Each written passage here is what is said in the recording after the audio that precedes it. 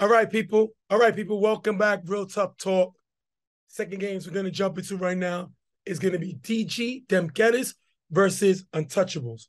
Now, DG is coming in over a loss to the Monarchs, 21-20.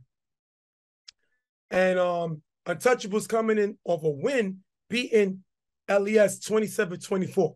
But the big matchup here is Corey versus Chuck. Two former UFL League MVPs going off against each other, which is awesome. You got um, Ricky on Untouchables who played with Chuck, um, with, with Carver. Um, Avido played with Chuck on Carver. So, you know, you got things like that. You got Slutty and Randy who play with Corey on YMM. So it's like the battle of guys who know each other, teammates, however you want to say. It. But at the end of the day, this is a possible two of the top teams in the league. Now, the question is, we've seen DG come off of a loss and Chuck threw three interceptions. We've seen the Untouchables win the game, but their defense gave up 24 points. So, what you think is the most concern on what team, on what side to you? Uh, my thing is, I'm concerned with at least coming out of the gate with the, their first game, Untouchables defense because not to take anything away from the Raiders, but their defense was giving up a lot of points a little too easily. And I think that that's the main issue with, with either team. I think that DG does have problems. They're not perfect, but they weren't. Um, my thing in the last game, the main issue that they had was pass protection, but they had one of the best rushers in the league, and Damo rushing every down. So that's one problem that many teams may have facing that team in the Monarchs. But Right here, I think that the Untouchables defense is more of a problem that they have to focus on rather than anything that DG has to deal with right now. I thought Untouchables should be using Ricky to blitz because mm-hmm. we've seen untu- we've seen DG struggle with Damo. So I thought Ricky should be started on defense because Ricky can't play in the space and he can't pressure the quarterback. Yeah. But we have to see how they do that. We're gonna see Untouchables, all three of their picks here. And on the other side, DG will have Chuck, and Slutty both here. So all the picks are here. We have to jump into the game and see what happens. We're gonna jump in with DG getting the ball first. After Chuck with blocking from dirt goes to track in the gap low, but still call for a decent game. I think track kind of doesn't get enough credit for his offensive side of the ball. He can play defense, but the guy has a lot of speed and he can't catch the football. Good catch there. Chuck on four rush throws a track open in the gap get him to the three yard line. Hove is going to leave him and he's going to get open in the last second. Hove is coming from Bama. So this is a good pickup for this untouchable team. Hove is known as a defensive captain on that team. So that's definitely an, upgrade and an addition to this untouchable team. Third and goal, Chuck found Bones in the back of the end zone for the touchdown. Bones is going to get the extra point. 7 nothing. DG takes the lead. And if you look here on this last touchdown play, Andy gets picked by Buck. So he gets picked by his own man to leave Bones wide open. This is the worst case scenario for your defense. That your man, your own defender, it, um, your own teammate is getting in your way on your route to the to the um to the receiver. Unfortunately, that's exactly what happened with Andy, and Bones is left open for the touchdown. So right away, you see issues with their team's defense. You see Hove leaving track wide open on this play at the last second. Stick with him one more one more second, and um, Chuck is under pressure. He has to find a way to find another option. That and then in the, in the red zone to bump into your own player on defense is the worst thing that could ever happen, and they give up some um, seven points easy. I remember DG didn't. They lost Bones last season, got injured. Mm-hmm. So now he's back and he's shown why he's important to this offensive tackle. Seven nothing DG Untouchables get the ball. Corey throws the BG open on the sideline for a nice game, get him to the three yard line in the first down. Buck is called for a flag for holding, which is going to push him back. They went crazy. Avido went crazy. We're going to hear him going crazy a lot this game, which is something we're going to address at the end of the game. But he goes crazy. Buck didn't hold him. Buck said I didn't hold him. That's a bad call. What do you think of the call? And let me see. Is it hard? It's right, plain as day on the camera. There is no question. Buck held the um, Buck held on on this play. If you look here, He's put. Just look at it. It's plain as day. This is a hole. Unfortunately, they didn't see it, so they figured that oh, the ref made a bad call. That's crazy. Alvaro argues this play. Two plays later, you're gonna see that later. This is gonna be a running theme for this team right now. Corey then with two short passes getting to the five yard line, and Alvaro, if you look here, uh, uh, he's arguing still on the holding two plays later. You see him here arguing, still going crazy over that play, even though they're, sticked there. Corey just started moving the ball. Third and goal, Corey finds BG in the end zone for the touchdown. Dirt is going to get the sack on extra point. 7 6. Untouchables come back into the game, trailing one. And with all of these problems that the, that um Untouchables are dealing with, one thing that's definitely not a problem is Corey getting into the red into the end zone. And that's why you could say, you know what? That's the smartest thing that this team has ever done to pick up Corey. Much needed a quarterback for this team, and now they're a team that is able to score almost at will. Now, are their defense going to be a, a, a, part of them that's going to make their job that much harder? That's a wait and see issue. But right now, Corey's able to get them into the, into the, into the end zone for the first score. Chuck gets the ball back. On four rush, he's going to throw to Randy in the middle for a decent game, picking up the first down. Chuck upgraded this offense from we had last year. Randy, Bones, you know, they, this this this is definitely upgrade Slutty. So he has a lot more weapons on his team, and we haven't really talked about West this season. Yeah. Play game one, we listen. Chuck has a lot more upgrade on offense. Chuck is gonna throw deep to Bones, who has a step on BG in the gap, caught in the back of the end zone for the touchdown. Slutty gets a two-point conversion, 15-6 DG.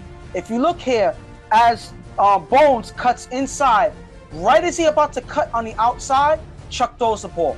Now the receiver has a, uh, has the option to has the opportunity to go and get the ball before the defense is able to react. So Chuck is able to understand this. He has experience doing this. It's so easy for them, and that makes it much harder for the defense to defend. Unfortunately, BG, he's one of those guys that got caught. So it's 15 6 DG. Corey gets the ball back on first down, throws deep to Juju, open in the gap, caught in the end zone for the touchdown.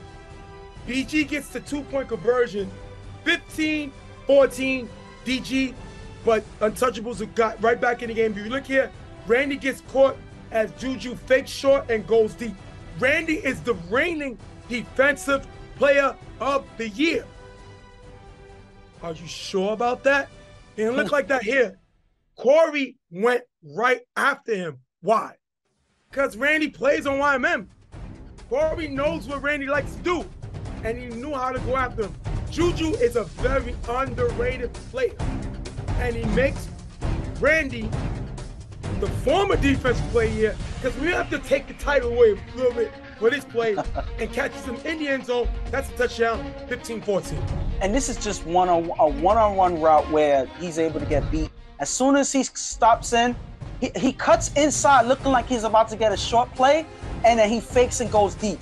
By the time he reacts, Juju's already 20 yards downfield, and the ball is already in the air for him to run into the end zone by himself. So this was a play response to Chuck's great play to Bones, and now Corey's able to respond right back to Juju, beating one of their better defenders in Randy to get into the end zone. Listen, these are two possible Hall of Fame quarterbacks, and yeah. they're giving us a show right now. Score for score for score for score.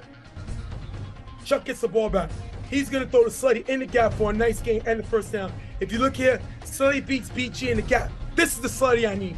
This is the Slutty I know, and this is Slutty that DG was able to pick in the draft. Great play by him there. Chuck then gets blitzed by Hove, who's blocked by Dirt.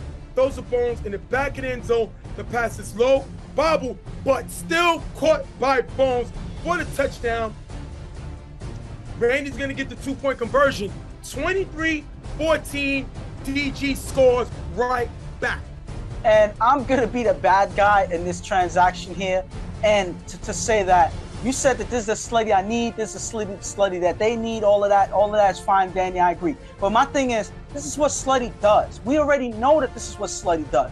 That's not the issue. The only issue that we've been criticizing, you know, here and there, is his defense. But offense, this man is lights out. We know that already. Sometimes he makes a mistake here and there, but normally this is the slutty that you get on offense, and he's able to start the trend on them getting into the end zone, and which leads to Bones yet again getting the ball here, beating. I think that's Naquan. He beats into the end zone, and he's able to bobble the ball and still come down with it. That's just Bones being Bones, and Chuck is able to utilize him in the way he wasn't able to last season, and that is their third touchdown so far.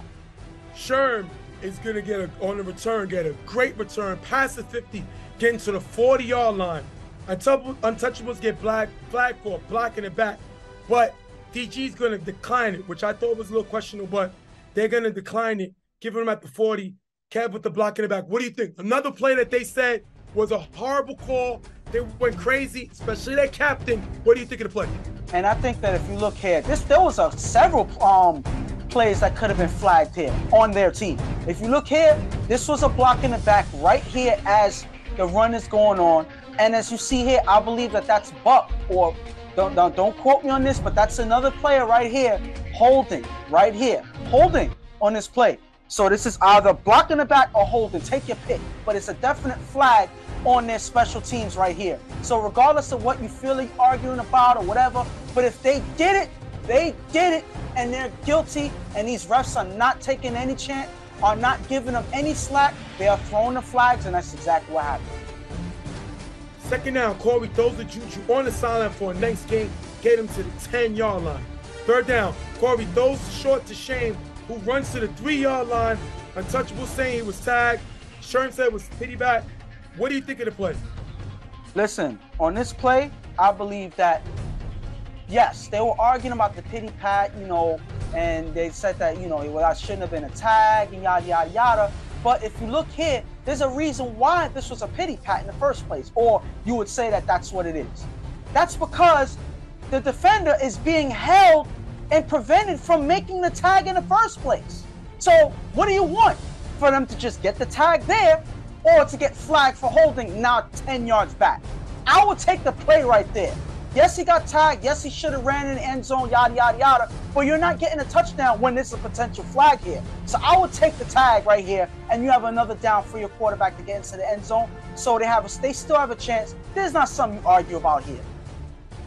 We seeing multiple flags on this team for them playing undisciplined, and their captain is blaming the officials for them playing undisciplined. It's amazing to me. Now, are officials gonna blow calls? Absolutely. I've done it. But don't say, well, it's like when the guys say, well, why they call that many fouls on us and less fouls on this team? Because you fouled more. It's not because the refs got some type of bias issue. You're doing the mistakes and we're showing the mistakes. Anyway, we're gonna go to fourth and goal. Fourth and goal. Corey, Corey's gonna throw to Derek in the corner end zone. Caught but out of bounds. Turnover on downs. The question is, was he out? This was one of the hardest calls to make there's no challenges in the regular season. So you got to go with the play, blink of the eye. What do you think of the call? And I believe that this was this was what I would say is a possible close call here because it looks like Derek's foot slides out of bounds. It doesn't look like he lifts his foot out of bounds. It looks like he slides out. So you have to see if the foot touched the ground before he goes out. And it looks like he could have possibly had his foot in before he slid out of bounds. So that play is a play that you know it's a bang blank. That could have been a play that was missed there. That's unfortunate for them, but that play was called out of bounds there. Last play before half, Randy's going to throw it up, incomplete, take it into the half, 23 14. Now, this is my thing, real quick. This DG team is playing lights out. Chuck scored three of three possessions. Now, there's three or four because the fourth possession, they just threw it up. But if it was a touchdown, they would have counted it. Mm-hmm. So they went three or four in the first half. That is great offensive attack. Last week, when I look at the numbers last week, DG in the first half last week went mm-hmm. all of four, all four last week. So in the first half, they went all four. This week, they went three or four. Complete change. With Chuck throwing two interceptions in the first half last week. So this is a complete turnaround, way to change it on offensive attack. On the other side, Corey has scored two out of three possessions, and the third one was a possible touchdown. That was a bang bang play, but I think it should have been a touchdown. It was bang bang, the foot slid up, And I think if we had challenges, you could see it, but it was missed. But at the end of the day, that's a part of the game. That's going to happen. And it's not the fact that officials make missed calls. It's going to happen. The question is, their defensive captain is arguing every single play, and it's starting to leak over on his teammates. He's starting to become a distraction on his teammates. And you got to look at it and say, hey, what are we going to do? But that's no excuse on the fact that you gave up 23 points in the first half. Yeah. That's what you should be yelling at. Including two two point conversions. Correct. So we got to see what happens in the second half. Second half, Corey gets the ball. Corey at the 48 long line. Throws are Derek in the gap for a nice game and a first down. I like this guy, Derek. This yeah. guy's really, good. Great play by him, and Corey is looking for him. Great play there. Second down, Corey finds Sherm cutting in front of the end zone for the touchdown. If you look here, Sherm cooks Rob off of the line. And I'm sorry, Rob should not be on one-on-one with, with, with Sherm. I wouldn't let Rob watch Sherm without help on the side. That's how I'm not gonna be. I'm not gonna be that harsh now. Listen, he, he got, got cooked. He got caught by surprise. BG gets the two-point conversion. 23, 22. Listen, they get back in the game. Listen, on the red zone, all it takes is one quick move, and that's a touchdown play waiting to happen. So understand that red zone is very hard to guard, especially when you have some fast receivers being able to cut amongst each other back and forth. So Sherm is one of the fastest players on the field whenever he's on the field. So one quick move, and Rob can't react. So that's just a defender getting beat. I'm not gonna kill Rob too much, but that doesn't help when you have one of their fastest guys able to react and um react on a dime, and you're not able to react in time. That's unfortunate for DG, but that's a score for untouchable. After getting the first down, Chuck throws a slutty on the sideline, caught but only one foot inbounds, incomplete.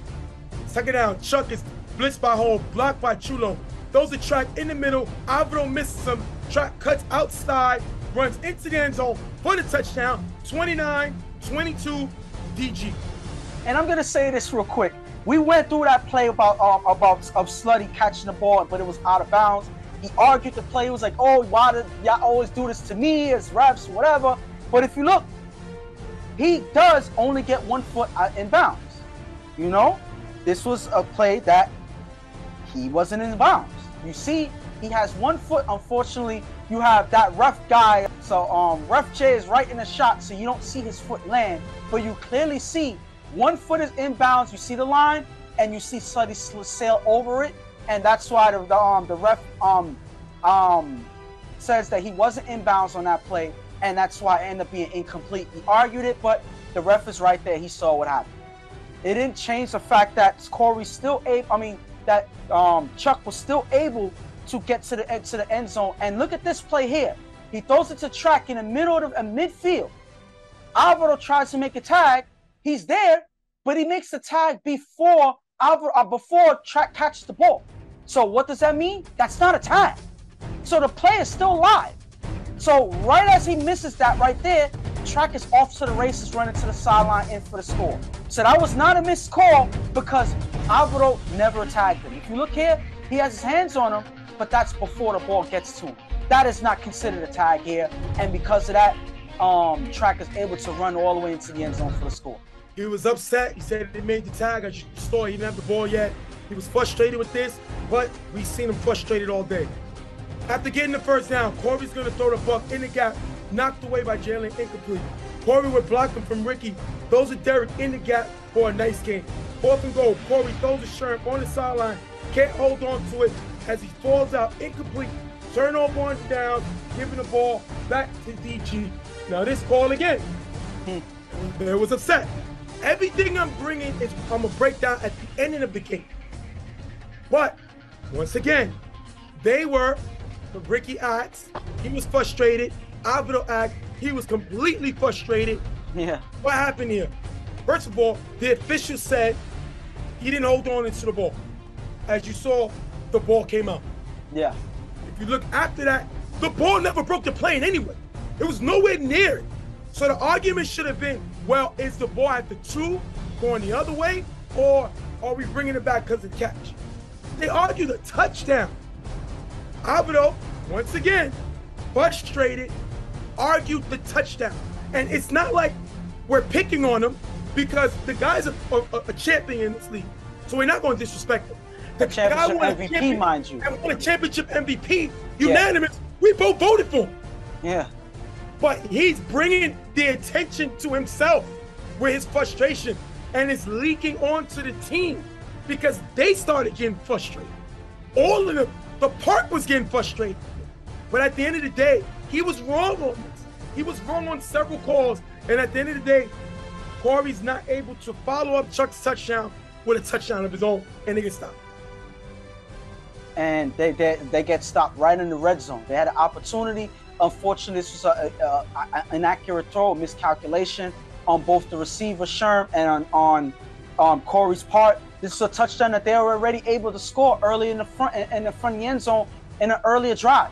So this was just a play that they missed. They were right there. They just got to close the deal, and they weren't able to do it on this drive here. DG gets the ball back. Chuck with three passes for a decent game, getting him to the four, the 45 yard line. Fourth down. Chuck with blocking from Slutty here runs for a short game and the, and, and the first down. That is a huge play because that pretty much ices the game. Tell me about this play here. And this is if everybody, I'm going to show it to you before I even mention it. If you look at this play, what is this called? Everybody knows that this is the Carver play. This is the Carver play to get a touchdown. This is a Carver play to get the first down. This is always a part of a play that's always used either to end the game or to get a big score or a first down that they need to keep the drive going. But you know that they go back to this play over and over and over again. And who should know that? Ricky should know that, but he wasn't in this play, unfortunately. You know who else should know that? Alvaro, who was right there as the giver, who he himself got blocked by Slutty to give them an opportunity to get this play, make this play happen. All they needed to do was stop the first down here, and they have a shot to get into the end zone to probably put the game away for themselves. But Alvaro does not tell his offense to be aware of this play. They don't react in time, and Chuck is able to run towards the sideline for an easy first down here. DG is going to get tagged three times to kill the clock. Last play of the game, Chuck is going to throw it up. It's going to be picked off by Sherm. He's going to try to run, but it's going to get tagged after. End of the game, 29 22 DG. And the funny thing is, despite everything that happened in this game, this was still a close game because your offense was still putting up points. They kind of fell short on that last drive, but your offense was efficient enough to keep you in the game. All you needed to do was focus on your defense, communicate with them, get a different game plan, whatever you got to do, make some switches. But they're not focusing on that because you have your captain worried about the officials on the sideline. You were worrying about the wrong things, complaining that the refs are jerking you, that the refs are doing this, the refs are doing that. This is a disappointing loss for this untouchable team because they are right there. They're right there. And they fall apart. And that's unfortunate watching them because they seem like a good team. There's a lot of people on their team I like. Obviously, Corey's a favorite among not only us, but a lot of people in the league. You have good receivers. You have Juju emerging as a great receiver on this team. You have Derek playing well both games, becoming a main target for Corey. You have Sherm, who's always exciting to watch. You have um, you have um, what? BG. You have BG, who's BG. So what else can I say about that? You have Ricky, who's always a mastermind on this team, able to help on both sides of the ball. You added you know? Hove. You got yes. Andy. You got Buck. So and you got have, Adi, who you got Slasher. You got Adi, who's the coach. Yes. Quarterback of the year, who's won two championships here. So this is a stacked team by all intents and purposes, this is what they are. But they're not putting together on defense, and I think that that's going to make their they're going to have a long season if they don't fix these mistakes and fix these issues because their offense is right there among the best of them already by just one draft pick and a few pickups. They're yep. one of the best offenses in the league. So you're right there. Fix a few mistakes. That's all you got to do. Even your teammates, even the teammates said, we didn't lose because of the refs. It wasn't the refs' fault. Our defense sucked. I heard that from multiple people on their team. So they already know what's the problem. They just got to fix it. That's it. This is what football is. You fix your mistakes and improve as you go along.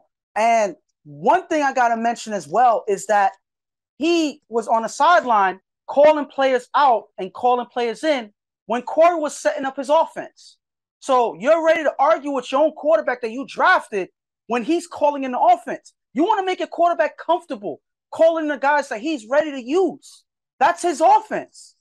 The quarterback is the captain of the offense. So you let him run your his offense.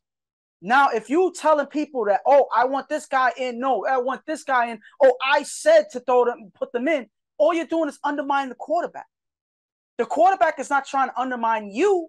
You're doing the opposite. Let the quarterback be comfortable and make suggestions on who's going to come in, who's can work better if they're struggling.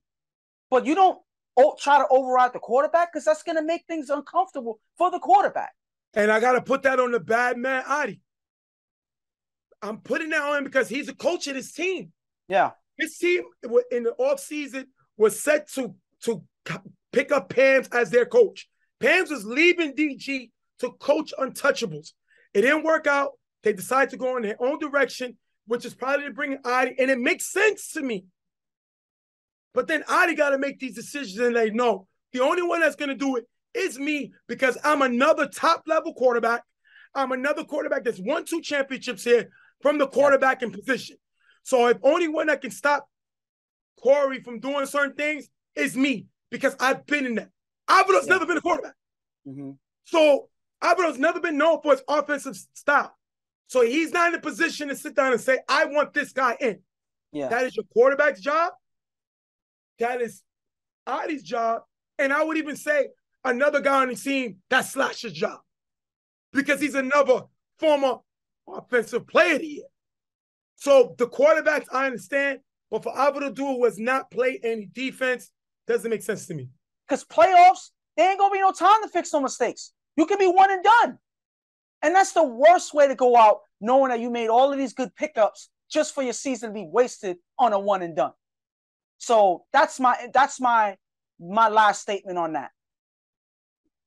DG looked like the team that we expected them to look like this game. Yeah. They picked it up from their last game with Chuck scoring three touchdowns in the second half. Um, their first week of the season to scoring three touchdowns in the first half this season. They're upgraded on the offense. This team is dangerous. Defensively, they have to improve a little bit. I think they got a little more things to do. But if you remember last week when they played Monarchs, they made Ramsey punt three times in the second half. Yeah. Something we've never heard of them doing. So this team is capable. They have to be considered a top team, especially the way Chuck played today. Slutty played a lot better this game. Bones is the man. He's healthy. They got to yeah. hope he stay healthy. Track show made a lot of improvement. Hollywood wasn't here, but they upgraded their team, and this team should be definitely considered an elite team. This is a big win for them. Yeah. On the other side, Untouchables at a crossroad right now. Alvaro is a very intelligent player when he's playing his game, but he has a tendency to get and to make these outbursts. It's not the fact that we're picking on him because all we're doing is telling the truth and showing the video. Was that touchdown in the corner? Uh, uh, uh, uh, uh should have been that was called out of bounds. Should have been a touchdown. Me and you both agree. Yes, should have yeah. been, but it didn't happen. You got to understand. There's a lot of more football to play. He's thinking the officials are jerking him, but he's not. You got to understand. You're not pumping positivity to the rest of the team. And these guys may understand that. But Corey goes through that with his home team on YMM. Yeah. You think he's coming here to go through the same thing? It's different when I go through it with you or you go through it with me. Yeah. We're family. Corey's a part of that YMM core. But you're not going to sign up for that when you go to somebody else. And his own core guys saying, that he is making too much, bringing too much attention to himself. So when you got veterans on this team, BG, Slasher, Buck, Ricky, they need to sit down and talk. And Adi, the coach, needs to sit down and let Alvaro know you're bringing bad attention to yourself, to the team and to the brand.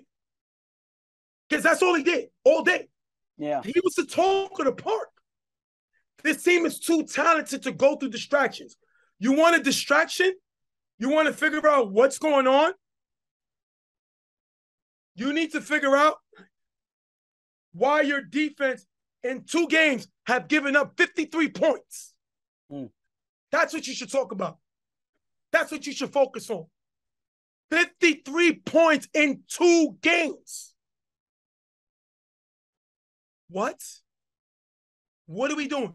You gave up 24 points to LES, and now you gave up 29 points to DG.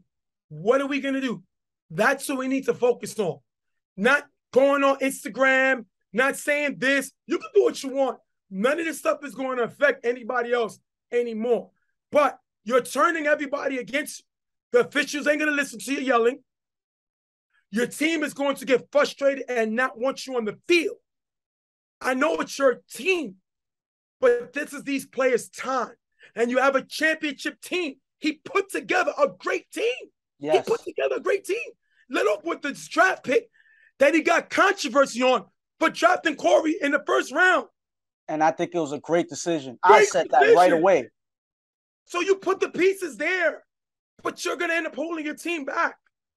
You didn't notice that Carver play. You know this play, but you so caught up worrying about plays that happened three years ago, meaning three plays ago, to focus on what's happening here. You argued about call that Go showed you your team lacked discipline. It was holding, blocking the back. You argue these calls where you were wrong, and you argued the call about the play where you came short of the end zone. hmm I'm just giving you facts. Yeah. Do I think this team is still elite? Absolutely. Do I still think it's a championship team? Absolutely. Do I think he has a mindset of putting the team together? Absolutely. He put up one of the top three teams in the league at talent. But if he keep making these distractions, that's all they're going to be known as a talented team. Yeah.